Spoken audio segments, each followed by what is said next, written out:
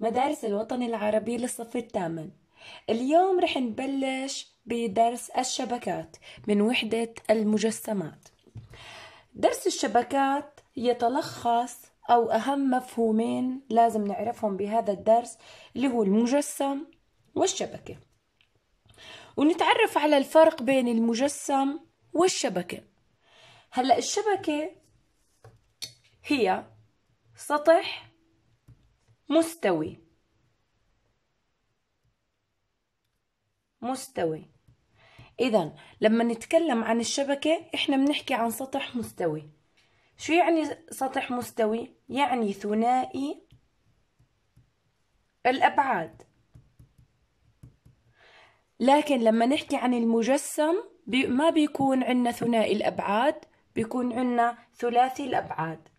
شو يعني؟ يعني يمكن وهذا الشبك وهاي الشبكة يمكن أن تطوى لعمل المجسم. إذا الأمور صارت أوضح. إذا الشبكة الشبكة هي عبارة عن سطح مستوي. لما نحكي عن شبكة بنحكي عن سطح مستوي. ثنائي الأبعاد أي إنه في سين وفي صاد. يمكن هاي الشبكة بطويها ممكن أن أطويها لعمل المجسم. إذا بالنتيجة إذا بالنتيجة طلعت عنا إنه الشبكة بعد الطوي بتتحول للمجسم. فالفرق بين الشبكة والمجسم إنه الشبكة إحنا بنحكي بثنائي الأبعاد المجسم ثلاثي الأبعاد. إذا هون ثنائي الأبعاد هون ثلاثي الأبعاد. وأيضا ممكن نحكي عن الشبكة شغلة تانية إنه هي هي السطح هي السطح الذي يعمل منه المجسم. إذا لما حكينا عن الشبكة حكينا عن سطح مستوي ثنائي أبعاد. إذا طويناه رح يعمل مجسم وهو السطح الذي يعمل منه المجسم. ولحد الآن لاحظنا الفرق الأول بين بين الشبكة والمجسم. ولكن الشبكة إلها عناصر. فعناصر الشبكة هي كالآتي. العنصر الأول القاعدة. إذا العنصر الأول رح يكون عندنا القاعدة والعنصر الثاني هو الأسطح. وممكن أحكي عنه بطريقة تانية اللي هو الأوجه. أما العنصر الثالث فهو الرؤوس. إذا ثلاث عناصر للشبكة القاعدة والأسطح أو ممكن أنا أيضا أسميها الأوجه. وأخيرا عم نحكي عن الرؤوس. الآن عشان نميز أكثر بين الشبكة والمجسم في عنا آه، ما الفرق بين الشبكة والمجسم؟ زي ما أنتم شايفين في هذا المثال موجود بالكتاب صفحة 92 هلا إذا بتلاحظوا لاحظوا هون عندي إنه هاي هي الشبكة. هلا بالنسبة للشبكة رح نلاحظ في عنا عنا ثلاث مستطيلات وعنا أيضا مثلثين. هاي الشبكة هي زي ما حكينا سطح مستوي وثنائي أبعاد. هلا إذا أنا هاي الشبكة بدي أجيب المجسم منها فرح أقوم بالطوي. فالمثلث الأول رح أطويه للمثلث الثالث وأطويهم مع بعض. أيضا المثلث للأعلى طبعا. المثلث اللي هون مع المثلث اللي هون رح أطويهم للأعلى عشان تتلاقى الأضلاع ويصبح عندي رؤوس. فرح ينتج بالنهاية بعد الطوي هذا المجسم. لما صار عندنا مجسم بطلنا نحكي فقط بطول وعرض صرنا نحكي أيضا طول وعرض وارتفاع. إذا الفرق إنه هون صار في ارتفاع وصار عندي مجسم من ثلاث أبعاد. في هذا الدرس رح نتعرف على ثلاث مجسمات رئيسية وهي الهرم الرباعي الهرم الثلاثي المنشور الثلاثي. الهرم الرباعي هو عبارة عن هرم لكن قاعدته مضلع أو رباعي. إذا هو عبارة عن هرم قاعدته مربع رباعي أو مضلع مربع أو مستطيل. أما الهرم الثلاثي هو عبارة عن هرم قاعدته مثلث. عشان هيك سمينا الهرم الثلاثي بأنه هرم ثلاثي لأنه قاعدته مثلث. أما الهرم الرباعي بتكون القاعدة إما مستطيل أو مربع يعني من أربع أضلاع. أما لما نيجي نحكي عن منشور ثلاثي المنشور الثلاثي هلأ كلمة منشور يعني له قاعدتين. ومنشور ثلاثي يعني شكل القاعدة مثلث.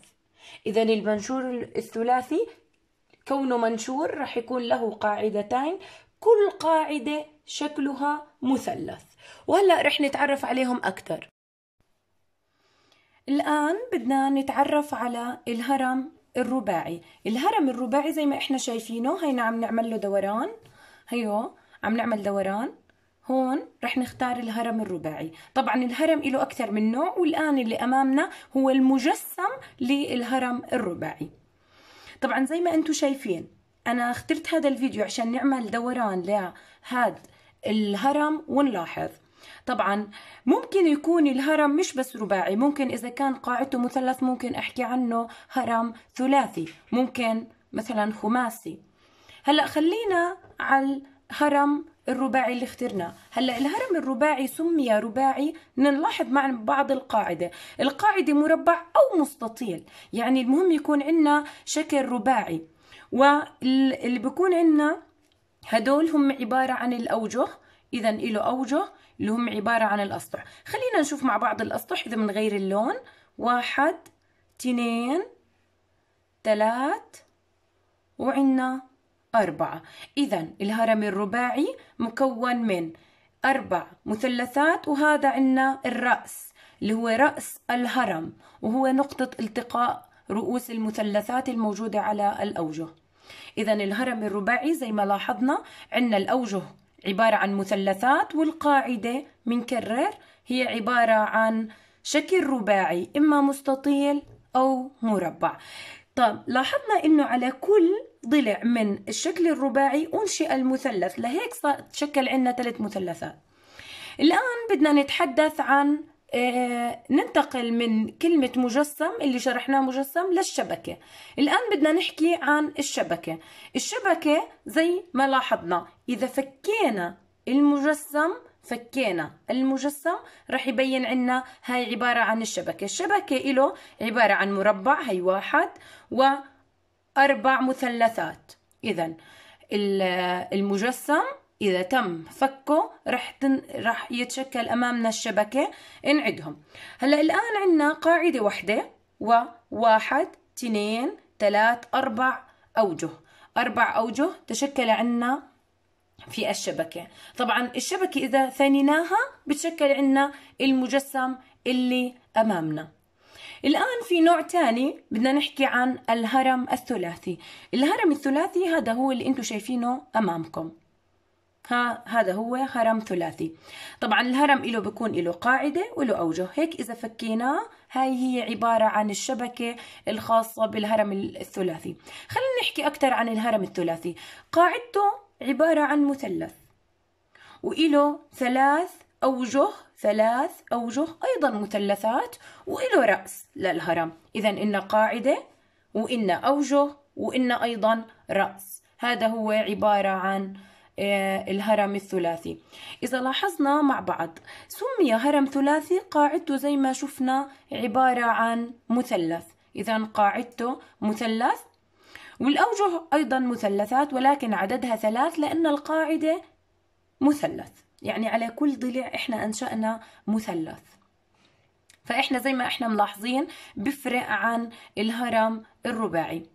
طيب خلينا نشوف مع بعض الشبكة الخاصة في الهرم الثلاثي وفي ممكن أكثر من شبكة. الشبكة هي بتكون عبارة عن بتكون عبارة عن مستوى واحد و 2 دايمنشن وهيك إذا فكينا المجسم. اذا هيك المجسم إذا تم فكه بنشأ عنا الشبكة الخاصة له طيب هلأ بالبداية خلينا نعد الأوجه مع بعض نغير اللون. واحد اثنين هي ثلاث. إذا صار في عندي ثلاث أوجه ثلاث أوجه وهي القاعدة وقاعدة واحدة قاعدة واحدة وشكلها مثلث. إذا ثلاث أوجه قاعدة واحدة شكلها مثلث. هذا عبارة عن الهرم. إذا فكيته تشكلت عندي الشبكة. الشبكة قاعدة واحدة هي المثلث هي القاعدة. واحد اثنين ثلاث هدول هم الأوجه.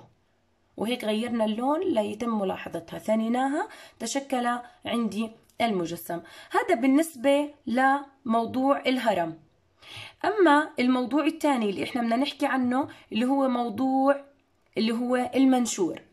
زي ما أنتم ملاحظين هون هذا هو المنشور. هذا هو المنشور. المنشور يختلف عن الهرم بوجود قاعدتين. هاي هو أول الفروق.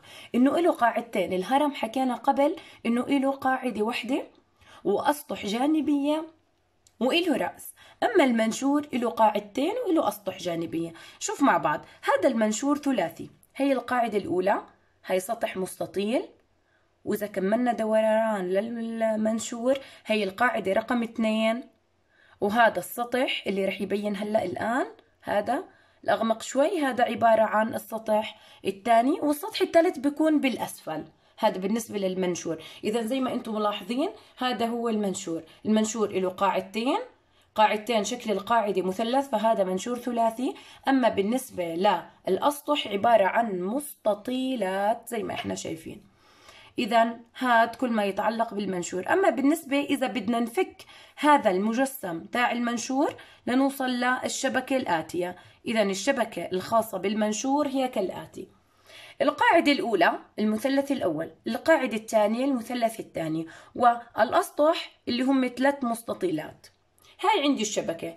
إذا تميت قمنا بثني هاي الأضلاع على بعض لجوا لجوا للأعلى وهاد قربته أيضا ثنيته فرح يتشكل عندي المنشور. المنشور الأسطح جانبية. رح تكون عندي مستطيلات ويكون له قاعدتين على شكل مثلث فهذا اسمه منشور ثلاثي. مثال واحد صفحة 93 صل كل جسم بشبكته فيما يأتي. عندنا المجسمات هون والشبكات هون. وإحنا بدنا نعرف كل مجسم وين الشبكة الخاصة إله. نبلش بالمجسم الأول. المجسم الأول بعد ما تعرفنا عليه هو عبارة عن في عنا مربع قاعدة وعنا رأس وعنا أوجه وقاعدة واحدة. إذا هذا عبارة عن هرم رباعي. ليش عبارة عن هرم رباعي؟ لأنه القاعدة عنا مربعة. وعنا قاعدة واحدة وهون رأس الهرم واللي على الجوانب هي الأسطح الجانبية وهي المثلثات. فبالتالي اللي بتكون الشبكة لهذا المجسم هي هاي لأنها تحتوي على هي القاعدة المربع وأيضا عندنا وجه وجهين ثلاثة أربعة ولما أطويهم مع بعض راح الرؤوس كلها تتحد مع بعض وتصير تشكل عنا رأس الهرم الرباعي. بالنسبة للمجسم رقم اثنين المجسم رقم اثنين زي ما إحنا شايفين في عنا هون مثلث هون مستطيل هون مستطيل وتحت أيضا مستطيل وفي مثلث على الجهة الأخرى. المثلث بما إنه هون في مثلث وهون إذا يوجد قاعدتين. هدول القاعدتين بيكونوا على شكل هدول القاعدتين على شكل مثلث. والأسطح الجانبية هي عبارة عن مستطيلات. كون لوجود قاعدتين فهذا يعني إنه هذا منشور. ولأنه القاعدة على شكل مثلث هذا اسمه منشور ثلاثي. فرح نبحث بالشبكات عن مثلثين وأوجه جانبية ثلاث أوجه جانبية على شكل مستطيل. فإذا المنشور الثلاثي. هاي الشبكة الخاصة له أما بالنسبة للرسمة الأخيرة هي عبارة عن هرم ثلاثي. لأن قاعدته ثلاثية والأوجه أيضا ثلاثية فالشبكة اللي خاصة له هي هاي. وبتكون الإجابة كالآتي. الإجابة كالآتي. عندنا المجسم الأول اللي هو عبارة عن الهرم الرباعي. هون رح نوصل الخط أيضا عندي هون المنشور الثلاثي هاي الشبكة والهرم الثلاثي رح تكون عنا هاي الشبكة الخاصة فيه. وهلأ رح ننتقل لتدريب اثنين. واحد. تدريب اثنين آه واحد صفحة 93 المطلوب. أنا مجسم. أنا مجسم. شبكتي تتكون من مستطيل وأربع مثلثات متطابقة الضلعين. عند طيها تلتقي رؤوسها في نقطة واحدة. فمن أنا وماذا تسمى نقطة الالتقاء؟ هلا في البداية حكى إنه هو مجسم. هو مجسم. الشبكة الشبكة رح تكون تتكون من مستطيل واحد إذا صار عندنا مستطيل وأربع مثلثات. فالشكل رح يكون عندنا هاي الشبكة. عندنا مستطيل أو مربع وثلاث وأربع مثلثات. فالشكل زي ما أنتم شايفين رح يكون عندنا هرم رباعي. إذا هاي هي الشبكة الخاصة بالتدريب. فالجواب رح يكون عندنا هو هرم رباعي. عندها طيها رح تتلاقى في نقطة واحدة. وهاي النقطة إحنا مع بعض بنسميها رأس. الهرم. إذا هاي رح تكون عندنا عبارة عن رأس الهرم. ننتقل مع بعض لمثال اثنين. ليوضح أكثر. مثال اثنين زي ما إحنا شايفين. عندنا مثال اثنين أكمل أكمل الفراغ في الجدول. في الجدول الآتي. الجدول عبارة عن الخانة الأولى مجسم واسم المجسم وشكل القاعدة وعدد القواعد وشكل الأوجه الجانبية. هذا هو آخر خانة شكل الأوجه الجانبية. المثال موجود صفحة 94 هلأ الشكل الأول لو ننظر للشكل الأول رح نلاحظ في عنا مستطيل ومستطيل وأيضا عندي آه، عنا مثلث ومثلث وفي عنا ثلاث مستطيلات. فاسم الم... فاسم المجسم رح يكون عنا المنشور الثلاثي. أول ما شفت قاعدتين هو منشور وطلعت على شكل القاعدة طلعت مثلث فهو الجواب منشور ثلاثي. شكل القاعدة زي ما إحنا شايفين مثلث. عدد القواعد قاعدتان. شكل الأوجه الجانبية مستطيلات وهاي مذكورة أصلا بالكتاب. الشكل الثاني. الشكل الثاني. اسم المجسم أعطانا إياه هو عبارة عن هرم ثلاثي. إذا الشكل أعطانا إياه عبارة عن هرم ثلاثي. شكل القاعدة إذا القاعدة هي زي ما إحنا شايفين هاي هي القاعدة هاي هي. إذا شكل القاعدة مثلث عدد القواعد قاعدة واحدة وشكل الأوجه الجانبية كلها مثلثات. أما بالنسبة للشكل الأخير فأنا شايفة مثلث اثنين ثلاثة أربعة وتحت عندي مربع أو ممكن نعتبره مستطيل كونه الأبعاد مختلفة. اسم اسم المجسم هذا رح يكون عندنا عبارة عن الهرم الرباعي. شكل القاعدة نعتبرها مستطيل وعدد القواعد قاعدة واحدة وشكل الأوجه الجانبية مثلثات. إذا هيك بيكون حلينا مثال اثنين ورح ننتقل لتدريب تنين. تدريب تنين رح يوضح هون عنا رح يوضح هون عنا بالصورة. تدريب تنين. تدريب تنين صفحة 95 المطلوب منه. أرسم شبكة لكل مجسم من المجسمات الآتية. عندنا شكل أول شكل تاني شكل ثالث. الشكل الأول زي ما تعرفنا عليه سابق زي ما إحنا شايفين القاعدة عبارة عن مستطيل والأوجه الجانبية عبارة عن مثلثات وإله قاعدة واحدة وهي الرأس رأس الهرم. فالشكل الأول هو عبارة عن هرم رباعي فرح تكون معنا المطلوب إنه نرسم الشبكة فالشبكة الخاصة فيه رح تكون كالآتي. هاي هي الشبكة للهرم الرباعي. الشكل الثاني الشكل الثاني هو عبارة عن أسطوانة. إذا هذا الشكل بنسميه أسطوانة. الأسطوانة إيه، من مميزاتها إنه لها قاعدتان وشكل القاعدة بتكون دائرية فبالتالي رح يكون الجواب هذا إذا الشبكة رح تكون عبارة عن دائرتان اللي هم القاعدتان وعبارة عن مستطيل. هاي الشبكة إذا طويناها رح تشكل عنا الإسطوانة. أما آخر شكل إحنا بنسميه المخروط.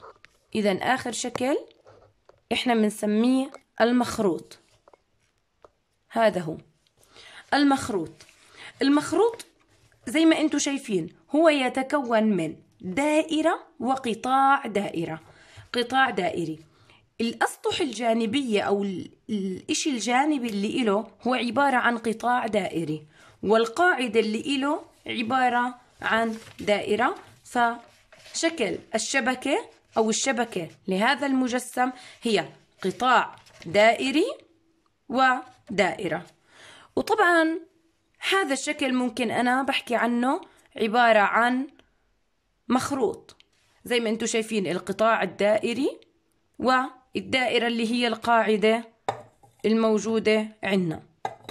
أما بالنسبة للإسطوانة فهي هذا الشكل عبارة عن أسطوانة. هي قاعدتين دائرة دائريتين وعندنا الأسطح الجانبية مستطيل. تمارين ومسائل. السؤال الأول اكتب اسم المجسم الذي تكونه كل شبكة مما يلي. هلأ في عنا الشبكة الأولى بدنا نكتب اسم المجسم. الشبكة الأولى خلينا نتفرج عليها شوي. في عندي مثلث واحد بعدين عندي مربع واحد بعدين مثلثين ثلاثة أربعة. هذا شكل مكون من أربعة وثلاث مثلثات. إذا اسم المجسم هو هرم ورباعي. هرم لأنه له قاعدة وحدة ورباعي لأنه قاعدته على شكل رباعي. وهو عبارة عن هرم وله أربع أوجه مثلثات. إذا قاعدته مربع أو مستطيل والأوجه الجانبية عندنا مثلثات. الشكل الثاني أو باء عبارة عن دائرة دائرتين ومستطيل كبير شوي. اسم المجسم هو عبارة عن أسطوانة. هاي هي الأسطوانة. هي عبارة عن مستطيل. هاي الشبكة اللي إلها. وقاعدتين دائرتي دائرتيتين. هلأ مستطيل ودائرتين متطابقتين. هاي مكونات الشبكة اللي إلها. فرع جيم عبارة عن واحد اثنين ثلاث مستطيلات ومثلثين. مثلثين يعني في قاعدتين وفي عندي ثلاث مستطيلات هاي الأوجه الجانبية فهو اسمه منشور ثلاثي. إذا منشور ثلاثي لأنه قواعده عبارة عن مثلث. أما دال اللي هو آخر شبكة عندنا قطاع دائري مع دائرة. فاسمه اسم المجسم هو المخروط. هلا بدي أنبه لشغلة مهمة إنه في فرق بين المخروط وبين الهرم الثلاثي. المخروط ما له أحرف جانبية يعني زي ما بتشوفوا هو مكون من قطاع دائري مش من مثلثات. أيضا قاعدته دائرية وهذا قاعدته مثلث. هلا السؤال الثاني. السؤال الثاني أرسم شبكة لكل من المجسمات الاتيه بدنا نشوف الرسمة. الأول منشور ثلاثي. رح أرجع أأكد المعلومة. المنشور يعني لازم يكون عندنا مثلثين قاعدة قاعدتين مثلث مثلث وثلاث مستطيلات فالرسمة رح تكون كالآتي. هذا هو المنشور الثلاثي. الرسم الثاني هرم ثلاثي.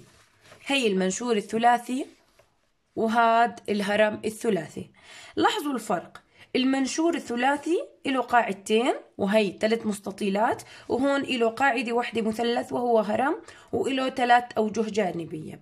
الرسمة الثالثة اللي هي الهرم الرباعي. هي لاحظها بوضوح أكثر. هذا عبارة عن هرم رباعي وهذا هرم ثلاثي. نلاحظ الفرق. القاعدة هون مثلث القاعدة هون مربع. لأنه مثلث ففي عندي ثلاث أسطح جانبية مثلثات هون في عندي أربع أسطح جانبية مثلثات. آخر رسمتين هما الأسطوانة والمخروط وهذا جواب السؤال. الأسطوانة عبارة عن مستطيل وقاعدتين دائريتين أما أما المخروط بدي أرسم قطاع دائري ودائرة. وهيك بتكون عندي كل إجابات السؤال الثاني. هي الجواب الخاص بالسؤال الثاني. تمام. ننتقل الآن لسؤال رقم ثلاث. سؤال رقم ثلاث في تمارين ومسائل. الآن صار أوضح. كلف معلم الرياضيات الطالب سعيد برسم شبكة هرم ثلاثي. إذا طلب من الطالب أنه يرسم هرم ثلاثي زي ما إحنا شايفين. فرسم الطالب الرسم الآتية. خلينا نتمعن شوي بالرسمة. الرسمة عبارة عن مستطيل مستطيلين ثلاث ومثلثين. مع إنه طلب منه إنه يرسم هرم ثلاثي. فشو؟ هل تتفق مع ما رسمه سعيد؟ مبرر الإجابة الجواب رح يكون عندنا لا. لأن ما رسمه سعيد هي شبكة, شبكة لمنشور ثلاثي. إذا هذا عبارة عن منشور لأنه في له قاعدتين وليس هرم ثلاثي. وضحنا الفرق. أما السؤال الأربعة. طلبت معلمة الرياضيات رسم شبكة لمجسم الأسطوانة فرسمت راما عندنا الشكل ألف ورسمت ريم الشبكة با. هل تتفق مع ما رسمته كل من راما وريم؟ ننتبه للسؤال. السؤال مطلوب مني أسطوانة. في عندي بنت رسمت هاد في عندي بنت رسمت هاد. هل في غلط؟ طبعا الإجابتين صحيحات الشبكتان صحيحتان لأنهما تمثلان أسطوانتان. إذا هاد لو أنا أطويه على بعض رح يطلع أسطوانة وهون رح يطلع إن أيضا معي أسطوانة ويعطيكم العافية.